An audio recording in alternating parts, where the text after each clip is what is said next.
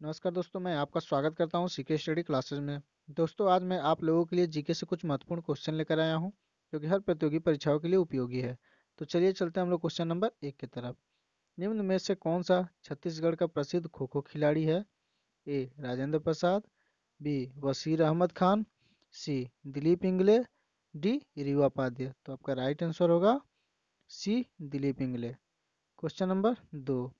आसमान का नीला होने का कारण है ए, निवर्तन, बी, अपवर्तन, सी, परावर्तन, डी, प्रकीर्णन। तो आपका राइट आंसर होगा डी, प्रकीर्णन। क्वेश्चन नंबर तीन।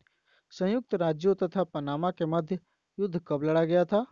ए, उन्नीस सौ उन्यासी, बी, उन्नीस सौ अठासी सी, उन्नीस सौ नवासी, डी, उन्नीस सौ इक्यानवे। तो आपका राइट आंसर होगा ए, उन्नीस सौ उन्यासी। क्वेश्चन नंबर चार। रोम शहर किस नदी के तट पर स्थित है? A, Danube, B, Tiber, C, Rhine, D, Elbe. तो आपका राइट आंसर होगा बी टाइबर। क्वेश्चन नंबर पाँच। न्यूट्रॉन की खोज किसने की थी? ए, थॉमसन, बी, चैडविक ने, सी, मैडम क्यूरी ने, डी, मुस्ली ने। तो आपका राइट आंसर होगा बी चैडविक ने। क्वेश्चन नंबर छः। मोतियाबिंद एक दोष है, जो प्रभावित करता है। ए, गले को, बी, आँख को, सी, फेफड़ों को, डी, आंत को। तो आपका राइट आंसर होगा बी, आँख को। क्वेश्चन नंबर सात। ऑक्सीजन गैस स्वभाव में क्या है? ए, विद्युत धनात्मक, बी, विद्युत ऋणात्मक, सी, उदासीन, डी, इनमें से कोई नहीं।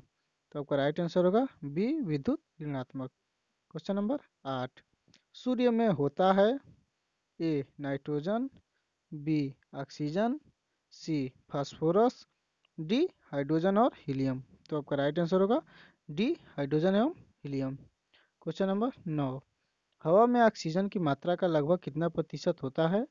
ए, दस, बी, इक्कीस, सी, पचहत्तर, डी, उन्यासी।